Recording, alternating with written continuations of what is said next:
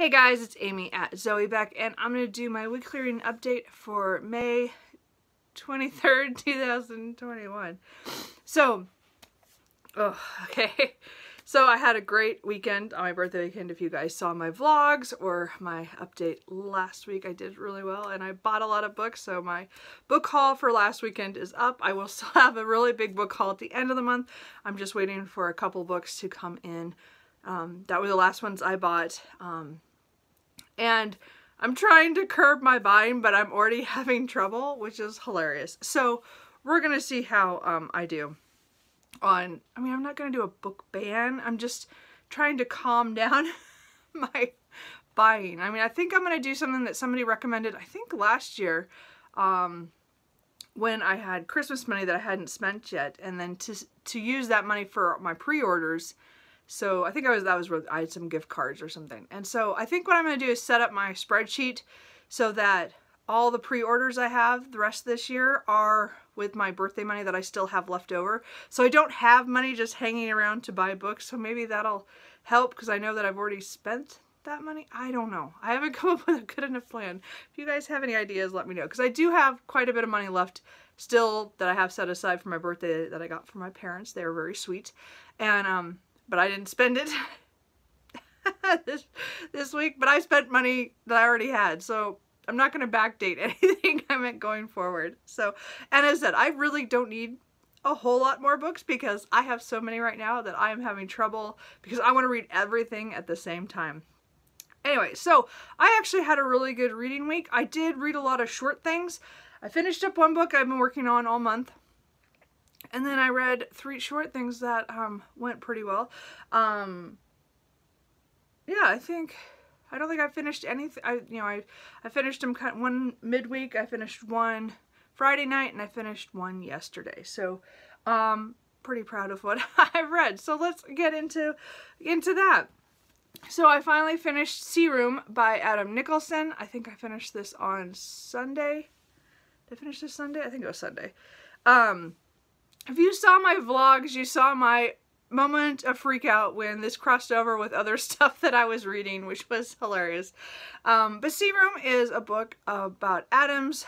Um, his dad had bought in um, like the 19, I think 1930s or 1920s, um, bought the um, the Shiant Islands um, up in uh, northern Scotland by uh, just off of Lewis. So they're three little islands um, they're quite, I mean, they're acres, but there's there's not much there but rock and birds and um, wind. so there's not a whole lot there. But, um, so they've been, um, so the, the family's owned it for, for many years now. And it passed to him on his 21st birthday. So he, this was written a few years before he was going to pass it to his, his son, who was going to be turning 21 in uh, a few years. So this is kind of his love letter to the islands of um, how um, you know, like it talks about all the nature stuff. Like it talks about the uh, geology and it talks about um, weather and the and um, the water and things around there and the because it's in the Minch, it's in the middle of this kind of uh, area, which is not always great for boating. Um, and again, they have high winds up there in the north. It gets cold. It's pretty barren most of the time, except then again, it during the summer, a lot of seabirds come, or birds that come like puffins, and um, others that come just seasonally, so they come, and then during the winter they get geese. I think it was geese. Anyway, and then uh, it was like, it's just, they were, um, and then he's talking about his family and who lived there, and they talk about the history of who inhabited the island, and then some archaeology stuff that they did on the island while he was there. He allowed um, some groups to come in and try to figure out, you know, what other settlements had been there because there were remnants of things. It was really fascinating. It has like a little bit of everything of natural history kind of thing, I would say. And it also had his personal stories and um, things that he did there and and uh, just it was uh, it was a fascinating read in that way. It was a very slow read for me. I admit it. I was very much every time I read this, if I read too much, it would put me to sleep. And it really, it's not the writing. It really was just because it was just so mellow. Like again, I could only read a chapter at a time. I had to I had to break it up that way to get it done. But I really enjoyed it. I'm glad I took a chance on this. I bought this last year after uh, Springathon last year, and so this was my my pick, one of my picks for Springathon. I just kind of carried over a little bit farther, which is fine. And I just wanted to get it done. So, um, and as I said, I was completely shocked that it turns out that he is the grandson of Vita Sackville West. And it was so hilarious to find the connection between this book and the books I've been reading about her. I just thought that was hilarious. Anyway, because uh, I did not, that I had no idea until I got to um, the last chapter. I just, I was surprised. Anyway, so, um, anyway, I really enjoy this. I don't think it's for everybody, but I also think that you can get a lot out of it. It's, it's just taking a look at these islands that are, you know, that nobody lives on them. People stay overnight there. Like they have one little cabin that's left there and it's not all that great, but so they can stay there, but nobody, like he's there for weeks at a time, but not all the time and they have sheep that are transported to and from there and that's pretty much what it's used for is for sheep. And it's just it's and again there's so much in here. It was just kind of it's, it's pastoral. It's just kind of like it's just talking about the islands and all the stuff around it. And I, I thought he did a really good job. So i'm glad i read that even if it took me a little longer than i thought and if i took a few extra naps. So last weekend i had started orlando by virginia woolf I read this one for um, the 1900 to 1950 readathon. I had read um, uh, the love letters, um, Virginia, uh, yeah, Virginia Woolf and Vita Sackville West, um, just before I finished that last week. Um, so I was, and Orlando is Virginia's take on Vita, and it was very, very interesting. So this is a weird book, and I don't think anybody's gonna say that it's not because it, it is weird. It's about uh, a young man in Elizabethan times who somehow is able to live for hundreds of years and it's him traveling through that time and interacting with people and yet at some point changes from male to female. And um, it's it's a very the writing again her writing is beautiful in some places. Her descriptions of sceneries are just fantastic um, but this is just weird. and, I mean, okay, so my major criticism is, is something that I would, again, I, I, write for fun when I haven't written recently, but when a lot of times when I write for fun, again, when I've been writing groups, I'm the person who will tell you your timeline is messed up. There's that doesn't make sense. That's not gonna that doesn't work. You've missed something. And that's what I spent all the time in this book just going, that doesn't make sense. She can't the character can't be that old after this many hundreds of years. You can't jump from this period to that period just like that. And again, you have to take it on a it's a whim it's a whimsical in that way in the way that time is kind of fluid and so is sexuality. Like I like I get all that. It was just hard for me because it didn't make sense on the timeline thing. And that's just me being a scheduler, being somebody who tracks things by time all the time. And that's how I think in my head, how I get things done, that I have so much time. And I'm a procrastinator. So the point is, I, I just think about time way too much probably. And that's the thing. And I, but I also can, I mean, I, I let that go to read the story, but I still had issues with it even when I did let go, because sometimes there'd be a line drop about how old they were, the main character, and I'd be like, Orlando, there's no way you were that old if you'd lived that long. anyway, it's fine. So it was weird. I don't, I can see where parts of it where um, that were based off of Vita and her family home and some of the things that that she was involved with and stuff. It was very interesting that way because I've kind of taken this deep dive into Vita Sackville West and then so Virginia Woolf was kind of part of that. So now so I did want to I'm glad I got to another one of hers. I hadn't read her in a couple of decades, I would say. I probably read the last ones in college. So I have got a couple more of her books to read that I will at some point try to pick up. I still want to read more of her and I do want to go back and read um, A Room of One's Own. I just haven't read it in years.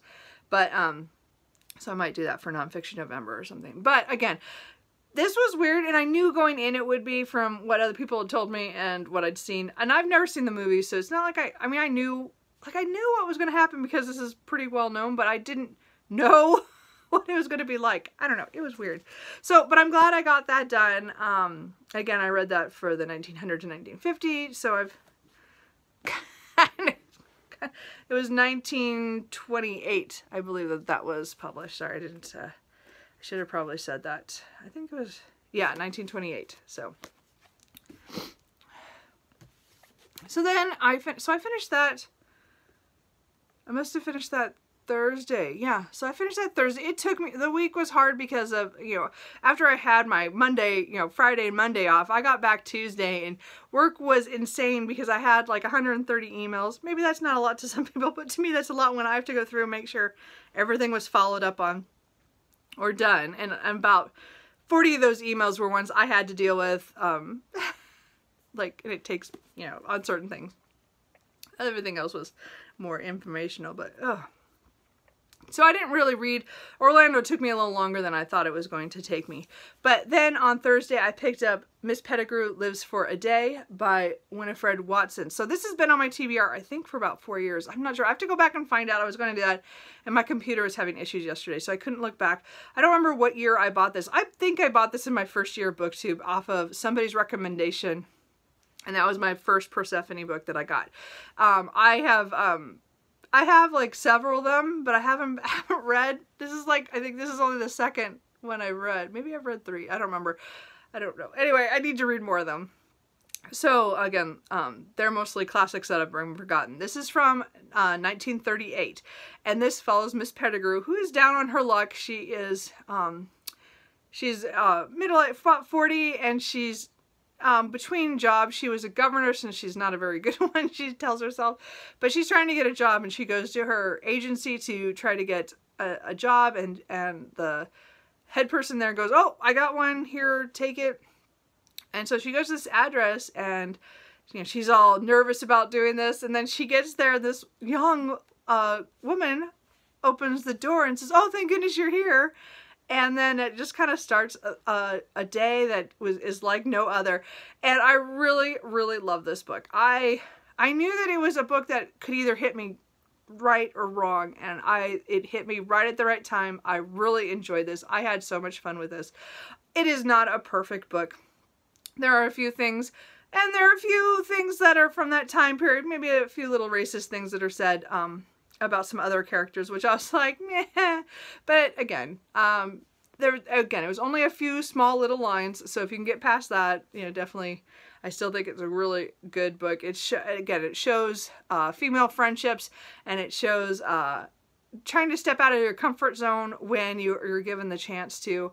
And I she took chances and I think that was what was so good. And I just love the way that this went. I admit I was just oh it was so I just love the end. So this was fun. It was funny. It was sweet. It was also sad in um their lives of showing what women went through and stuff and I think it showed that so well on certain things this is not a deep book. This is not like a deep dive into that stuff, but I think it scratches the surface just enough that you get a lot out of it. So um, I can see why some people may not get along with it because it is kind of, kind of, it, it is kind of hilarious, especially in the beginning. And uh, you're, because you're not quite sure where this is going, but I think it works over time and and establishes these characters pretty well. And I, I really love them. So I am so glad that I read this book. Again, I read this for the 1900 to 1950 readathon. So this was a surprise pick. I mean, it was one of those ones on my pile that I wanted to get to, but I wasn't sure I was going to. And I'm glad I just picked it up on a whim that day and uh, and and started it. So and then again, I read it, you know, with um, just a little bit over a day. So it was it was really good. I really enjoyed that. I know that there I think there's going to be a readathon on Kate Howe's channel and somebody else. I can't remember who the other person was. I just I just saw somebody else mention it. I actually haven't seen that. But I don't know, maybe was her book club. I don't know for sure. But so there if you're looking forward to read it in June, there are other people reading it. And I again I highly recommend this. This was just fun. Like I said, it's not perfect and not everything, but it was just fun. I, I really enjoyed my time reading that book. And then after that, I decided to finish, I decided to pick up the book that I really wanted to pick up that I bought over this week, last weekend, which was Portrait of a Marriage, Vita Sackville West and Harold Nicolson by Nigel Nicolson. So this is a biography, autobiography on Vita Sackville West and her marriage to Harold Nicolson. So again, Vita Sackville West um, wrote All Passion Spent, The Edwardians, and several other um, poetry and other books And again, I just read her letters to Virginia Woolf. And so I've been kind of, and I read All Passion Spent two weeks ago. So I've really taken this deep dive and want to know more about her because her life sounds fascinating, especially when in her 20s and uh, early 30s. So it just sounds great. And yes, Cooper is here to, to be in my way. Um, so this was like a surprise. I knew going into this that again, Nigel is there is the son of um, Vita and Harold, and so I knew he was gonna, you know, it's, it's about um, their marriage and talking about things that they went through. But it was really odd how not everything was scratched on. Like there was just certain things he touched on and not others. And it also turns out two of the five sections in here are actually Vita Sackville West's autobiography on what happened um, in 1918 to 1921. And so it was very interesting that um, I didn't expect to have her voice in this. And so that was really good for me. So this is not, I would not say this is a definitive um, biography on her in any way. This is very kind of more focused on the crisis in their marriage and um, and then the aftermath of that. And then maybe a little bit, it does kind of talk a little bit more about them later, but really not so much. I actually got parts after this section, this, this, because again, this was, um, in um, 1918 to 21 is kind of where it focuses. And then, but the all the letters that I read from her from Virginia Woolf were from 22 on. So I got much more about those kind of things than I did in this book from that, even though he does touch on Virginia Woolf a little bit, and then um, and another one other um, man that was um, influential or in her life. It was it's just not wasn't exactly what I wanted, but it also it gave me more than I wanted because I got her voice in two of the sections talking about what happened with her um, love affair with a woman named Violet, and it was very very interesting on um, how it's how she explains things and then her son would or uh, Nigel would go through and then he'd do the more factual part of it. And she I mean she was being pretty honest but there's there's a few little fudges but it was um again it was fascinating. I do I still am fascinated with Vita Sackville West. I don't know um, what I'm gonna go to next if I'm gonna um I know I have a couple more of her books coming in the mail which are the ones I'm waiting for.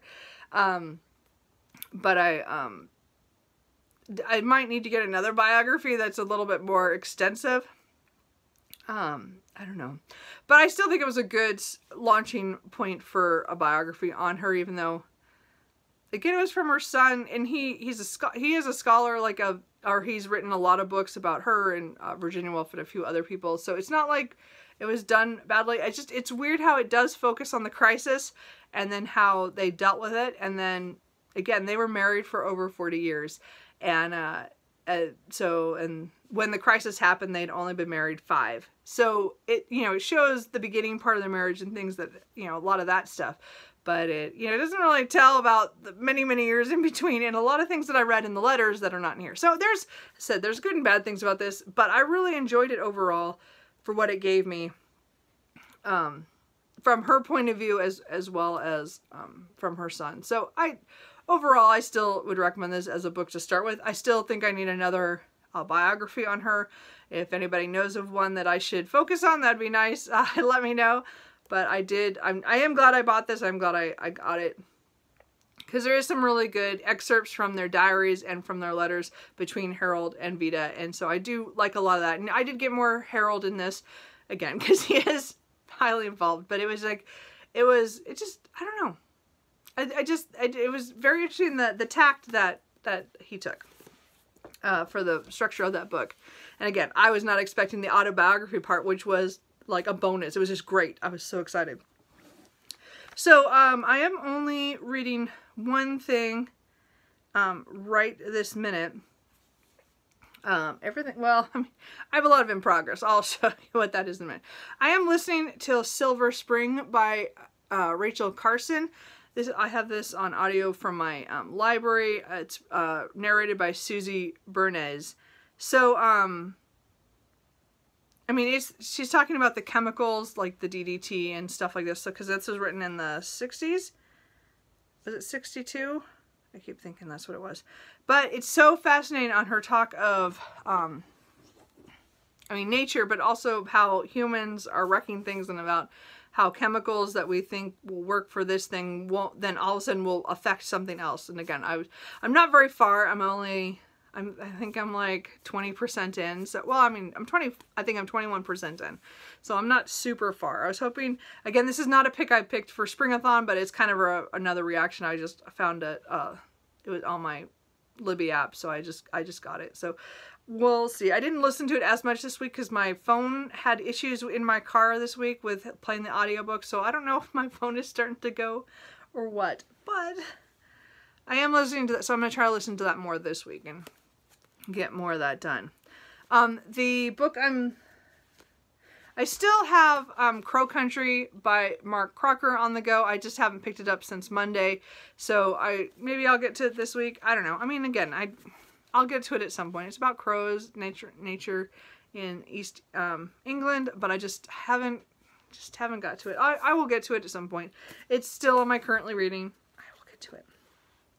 So, um, so this coming week, what I think I'm going to read. So first of all, I have a buddy read uh, for Magic Burns by Ilona Andrews. This is book two in the Kate Daniels series. I'm continuing to read these with Tia et al. and all the books. So we are starting today. Um, we have it tabbed out um, for the week um, for about, it's about 40 pages a day. So um, luckily this, this, this book has, the chapters are much shorter.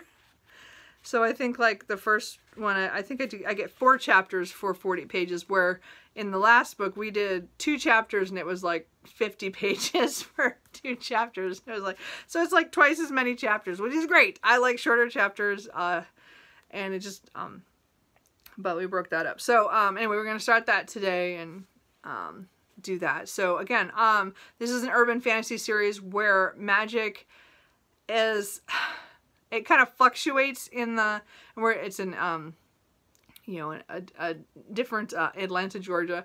And what happens is is that the magic comes and goes. Some technology only works when the magic isn't there. And so everything has kind of like a backup system between technology and magic and it's kind of interesting that way.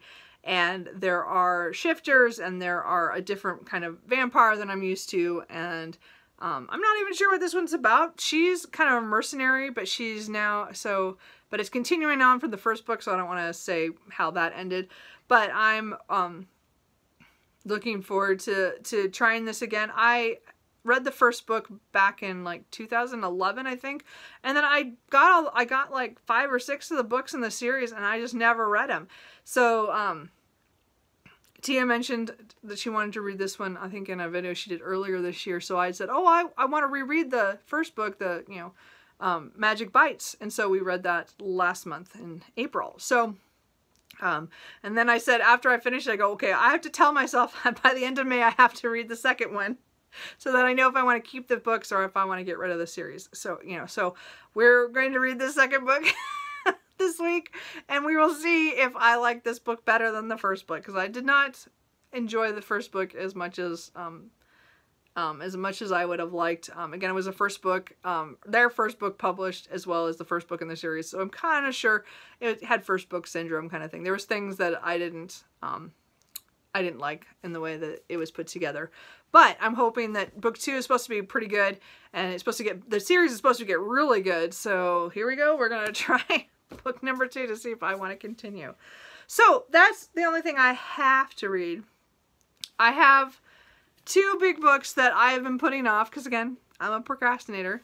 I still haven't really picked up Dr. Thorne by Anthony Trollope. I was doing this as a read-along on Instagram. Everybody else is way ahead and finishing, and they're all raving about how good it is. And I'm like, I read the first four chapters, I think, and I was bored out of my mind. Five chapters.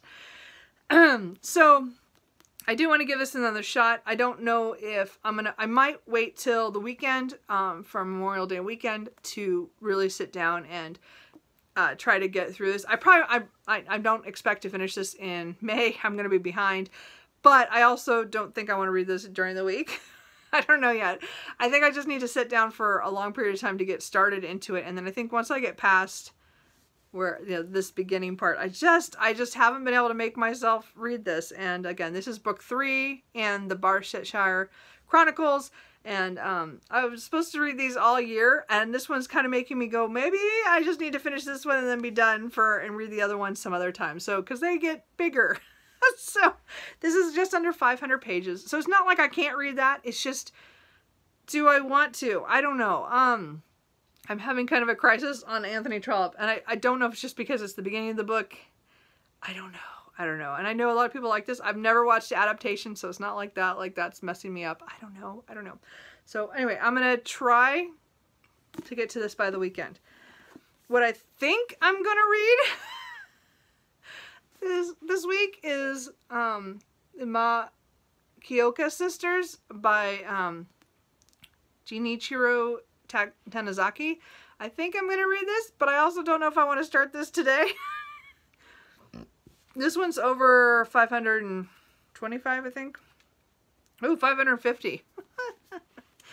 anyway, so this is uh, following uh, some sisters um, in Osaka, Japan in um, the, I think it's like right before World War One and then through the through that and I think it's how they all handle things like that. It was first published Oh, did I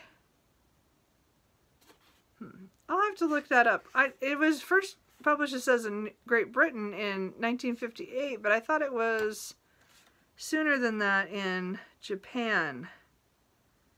Yeah, 43 to 48. So I was going to count this as 1900 to 1950 readathon as well. So maybe I'll get to this. I don't know. I really want to. I've had this on my shelf for a year and a half. I got this in a giveaway from Sarah at the Bookish Knitter. And I've been meaning to read it ever since. Again, I love Japanese literature, but this is one I have not gotten to. So I might try to pick this up sometime this week. I don't know. I don't know if I'll pick it up today. We'll see. Um, I do have um, a couple books in the, like, I might read instead. so again, today I I have to read my 40 pages in Magic Burns, but then I don't, I, I have, I'm going to my parents' house down um, in Lebanon uh, for the day. They have a lot of technology things I need my brother to help with. and so we're going down there uh, just for the day. So I won't get a whole lot of reading until later this evening. But I, um, I'm kind of in a, you know, as I said, I've read a lot of, of, um, books from 1900 to 1950 recently or about that. So I don't know if I really want to read the big book that I should. So I have a the um, sci-fi um, The First Sister by Linden A. Lewis that I drew as the book I want to try this month um, from my spinner wheel at my TBR. So I'm hoping to at least try that. I haven't got a chance to do that.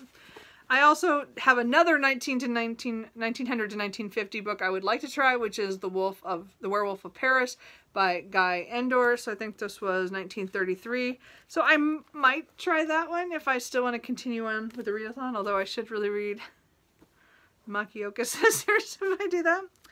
I also have two shorter or mass market books that one is to continue the Bridgerton series. Um, this is book seven. It's in his kiss. So this is following uh. Hyacinth? Hyacinth? I don't know how you say her name, to be honest. Um, the, the, youngest child. So I don't know. So I might read that. I might feel in that mood. I don't know. And then I also have the Mane Event by Shelly Laurenston, which is the first book in the Pride series, which again, I want to read these um, so that I have more background of what we read in the, the Honey Badger series. So um, I might pick up that. I'm not sure. I don't know what I feel like because I won't know until I get home. Um, I, you know, I might get my, I don't know. We'll see. It's, it, I won't get home until probably like four or five. So we'll see. Maybe, maybe, I don't know what time we'll really get home. So anyway, that's it. That's all. So I had a really great reading uh, week overall, even when it was really busy at work. Um, just because with my vacation plus um, this weekend, I, I mean, Friday and Saturday, I read some, two really good books. I'm really glad I, I got those done too. Um, yes, Cooper. Um, so I think that's it. Um, anyway, if you guys have read any of these books or of the ones I'm going to pick up this week, which one should I pick up? Let me know. Um, I think that's it. So I will, I think, the, oh, no, it's not it. I get to do my board.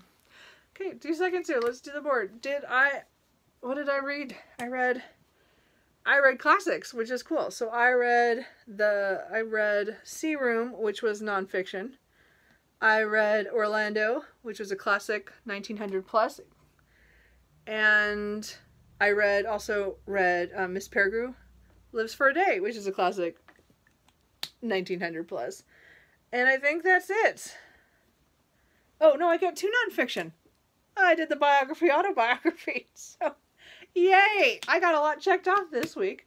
I mean, again, my board is a lot different this week than it has been. I have not done any series, which is probably why I was looking at doing those. I mean, I, mean, I will because I'll have Magic Burns later, but I haven't, like, it's just been that kind of month with the readathons. Anyway, that's it. I have talked enough. And Cooper's being cuddly now, so he wants me to stop. So um, anyway, um, I hope you guys are picking up something good to read. Let me know, and I will talk to you guys later. Bye.